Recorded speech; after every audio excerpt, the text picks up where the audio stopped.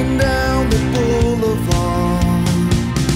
I feel insane, I've been waiting for thoughts to be back where they belong. Can't forget the pain. Kept thinking that I was